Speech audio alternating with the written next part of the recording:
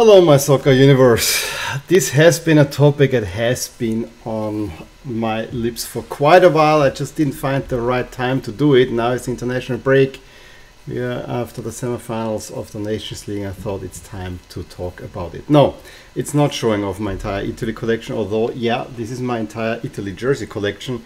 And the video that I made uh, two years ago is more or less out of date already. It's also not about the recent form of the Italian national team, which unfortunately is not to my liking at all, being a huge Italy fan. And no, I'm not even talking about the new jerseys that Adidas came out. Uh, almost a nightmare scenario for me because for me, Adidas, as much as I like them for many, many, many, many teams, for me, the Italian national team is sacrosanct. And a German company, we already had Puma for so long, and now there's Adidas, even more German in a way. They're stepping in a German should a German company should never take over a classic team like the Italians or Class C teams because of all the sportish cult that um, Adidas projects. There was always a class to the Italian national team jersey, and it starts, and I keep repeating with my favorite jersey up there. Uh, I just love, for me, if it's done right, nothing absolutely nothing beats the Italian national team kit.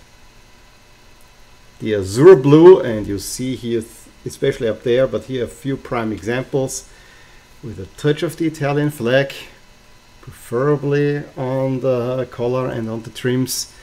Uh, it's just a sight to behold and unfortunately Adidas with adding the white stripes up top although there's some nice little nuggets in there it doesn't look Italian to me. But that's not the topic of the video. The topic is why do Italy, why do the Italian national team change so often their logo? And how confused is this? And I took actually some time to prepare a few graphics. And I, I have to tell all the logos that I'm showing you here, I did a little bit search myself, but more or less uh, went, I decided then to cut it short, I went to Football Kit Archive, drag out from uh, the main national teams, meaning all that won the World Cup, and I added the Dutch and I added Portugal in there.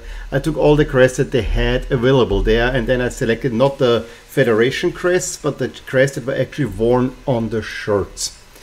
And I decided to display to you the most recent nine uh, where I feel there has been a significant change.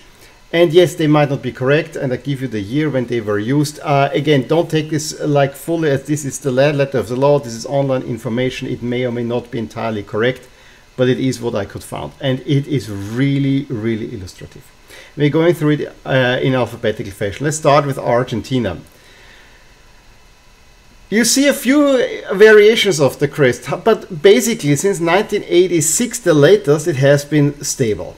With the only addition of the third star up top, we see even that previous iterations, we always had the AFA, yes, potentially 1965, although I quite cannot believe it, there was a different font up there, but other than that, we always had the golden shield with the Argentinian flag, maybe a laurel wreath around it, and an AFA logo where the A's have the same letter and the F is kind of a little bit ornamental in there. Very, very much the same through time. Then, next one up, Brazil.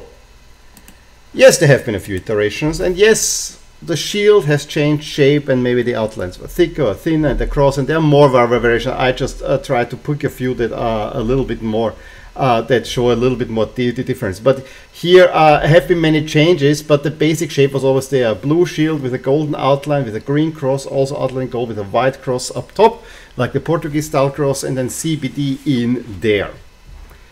Only between 1980 and 1991 was there a different crest, still with the same shape, but it was all blue and displaying, of course, the Jules Rimet Cup that Brazil had won at that point.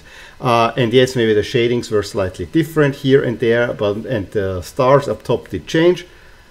But overall, it was all the same. The recent logo is more an evolution than a revolution. And yes, we can discuss maybe the dark blue outline should have been yellow. uh, to make it a little bit more uh, stand, stand out, but it's not egregious in any way. Do you prefer the old one? Yes. But the new one, again, evolution, not revolution. Let's move further. England. I mean, England, we can go all the way back to 1879. And yes, there have been variation with stars, blah, blah, or, you know, an all red logo. But basically, these is the ones that I found most differently. Uh, the old crest, okay, then they went to the um, they had uh, by the I think it was the National College of Arms or whatever how, how it's called had the crest designed for them with the three lions and the ten roses, and that has been the look for England. Whether they put an England up top or England on the on the bottom or keep it uh, relatively uh, plain as they have done recently, whether there's a star up top or not, always been more or less looking the same. Next one, France. Yes, uh, again here I'm not so sure about the numbers, but we have the original craze, but you know there were two kind of French national teams. It was kind of a confused times.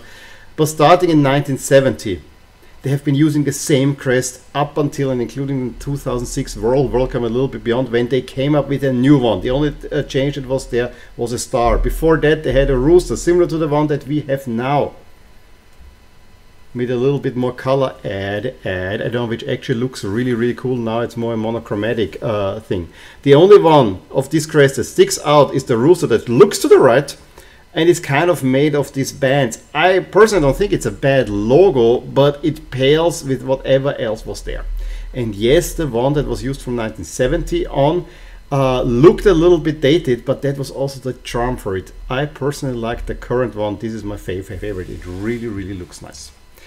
Moving over to another eternal rival of the uh, of the Italians, Germany.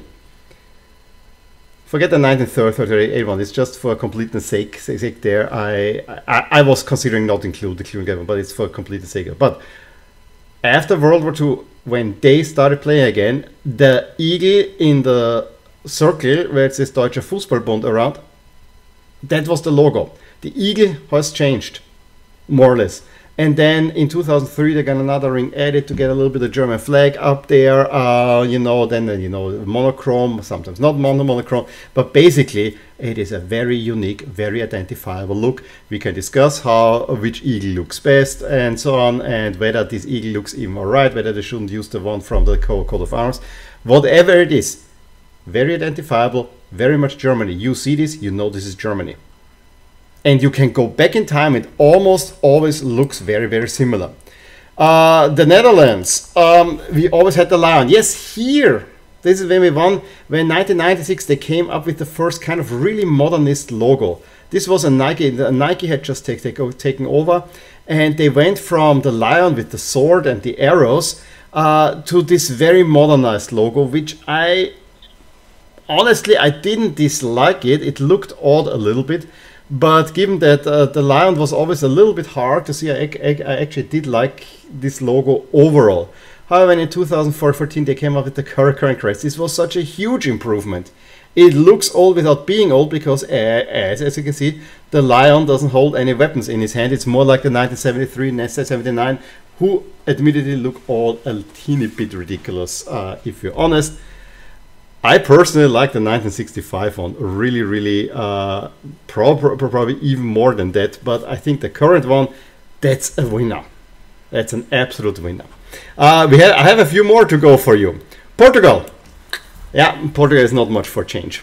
Either the old code or the, the still coat of arms or the, the modern cross. There has been no change for Portugal. We have two more.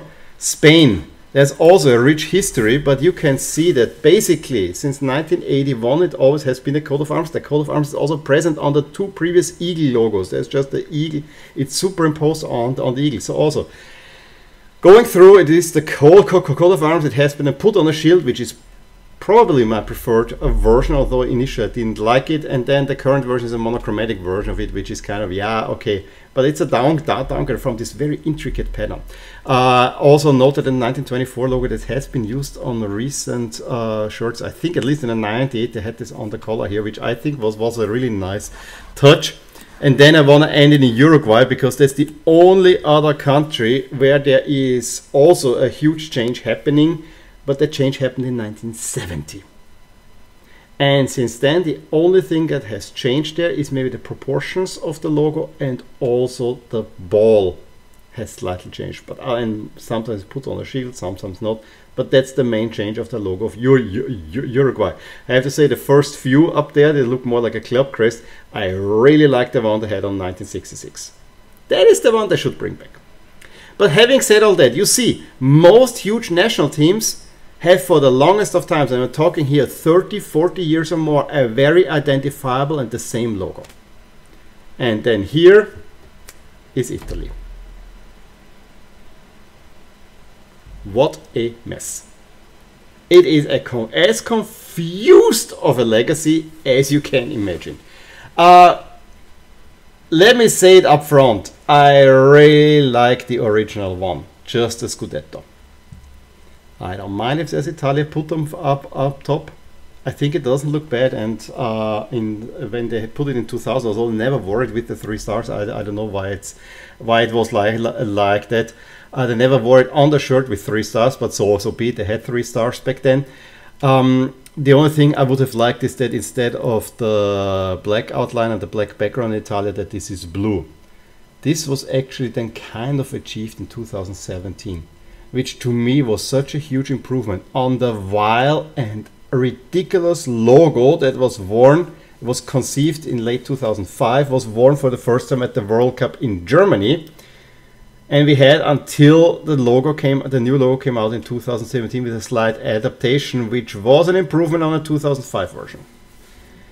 However, before we go into that one and then destroy the current logo, uh, I also want to point out the 1984 and the 1992 logo. I have to say the 1984 logo is the one that I first saw and which is on this beautiful 1990 home shirt which I have to say I don't dislike. It is different. It is not this. It is not had the same class like the Scudetto, but it has actually something nice uh, that it is the circular crest. You have the uh, Italian flag kind of, it rises up, it carries Italia, and then the three stars kind of also in succession. You can see 33, 38, uh, 1982 in a way that looks actually, you know, there's a rise in there, which I actually really liked.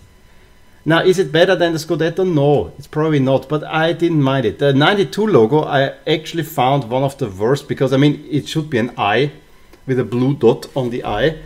Uh, the three stars, okay, but the Italian flag element gets totally lost, and that the FIGC, Federazione Italiana Gioco Calcio, needs to be written in full letters and then all uh, all to the, to the left, not even centered somehow it just is not a balanced logo at all. I think if that logo would get rid of the text and then we had at least the uh, Italian flag rising a little bit further up, I think I could live with it more. But this was a devolution. However, it's not as bad because when Kappa took over, they went back to the original crest. And then the next ev ev evolution came. And I said the logo that I wrote right here is a 2005 logo um, is just wild to me. It is everything that Italy is not. Strict corners. Puma took over, a German company. Strict, strict. There's no elegance to it. It's all arrows down. Then 1984, there's a uh, rise up here. It's all down. The stars, you have three stars. Why don't don't don't put it up? Why do you put them down there? And then the this weird little ball. And then what's even worse is that the white stripe is wider than the other two. It looks very unbalanced. I always hated this one. Now, fortunately, they won the World Cup, so they got a little bit of a redo, and I actually think they did it better. Not great, but better, because they increased the ball for FIGC. And then, yeah, I don't like how they arranged the four stars. I still think you should have taken the stars out and put them up top, or get rid of the Italian, put the four stars there but at least it looks a little a little bit more but still all these corners there's no elegance to it someone must have thought the same because in 2017 they came up with what i consider potentially the second best logo if not the best on this list uh, the shield shape has been re-established. I really like the upper part that is a little bit pointed. So you have, it's kind of, it has curves, but it has points. It's very, very elegant The one point of contention is that this VGG ball is still there. I think without that, if you, if you take this out, and just have the shield up there, round it up top and then write Italia over. And you don't even, honestly, we don't even need that Italia. But I understand, it's there. I think this looks, this looks really, really, really good. I mean, look, look at it. It looks Italy. Yes, I think it's a little bit too long. I honestly think that it is a little bit too long cut it here, make uh, you know, get rid of the italic, uh, get, get rid of the ball, put it down. I think you have a perfect logo. It's a little bit too elongated for my li liking, but it's absolutely it's that's nitpicking. The 1952 is a little bit too squat. I think the 1942 those are perfect dimensions in a way, where you have enough of the Italian shield and then you know a little bit. I love that logo. You can see I have this shirt, I have the two away jer uh, uh, uh jerseys. I got the first one released. I thought this, is horrible, and then through it, Idris, I got even the special version here. I love that logo. It looked better. It made a bad shirt look good. This is what a good logo does. And then Adidas, of course, doesn't want to take. I mean, I understand a little bit of that because you know they're from the same town. They're huge rivals. Adidas doesn't want to take over the logo. Has been used for Puma. However, I don't know who designed this logo. Were these Puma people? Probably. However, what Adidas does is it dumbs it down. It is not as wild as the 2005 logo, but it looks dumb, it looks childish. It's how to say, I mean, first the blue background uh, uh is gone. It is a white background, which looks already odd. Uh, then the rounded bottom huh? It looks cheap. Again, it might be due to the background, but the white is much thicker than the uh, green and the red. The Italia is in such a stern German font. It doesn't look good. And it's not even half it. I mean, the Federation logo, the, the new on the cover, is even, uh, even a worse abomination in, in, in, in, in a way. But this is just, it, it is a dumbed down version of a really good one that could use some improvement. That's how I see it. But what overall is, why do we have the need to change the logo so often? You hit goal in 2000. Make some color adjustments. You don't need to do anything anymore. No, you come up with an atrocious logo that admittedly you at least carried on then for uh, more than 10 years. But then you change again. And what uh, 1984, 92, all the other countries were more or less the same except for the Dutch and the French were more or less the same through their entire history and Italy is changing, changing, changing, changing, changing. The only thing that saves Italy in this case is they have a very identifiable and beautiful jersey that usually the logo cannot really destroy.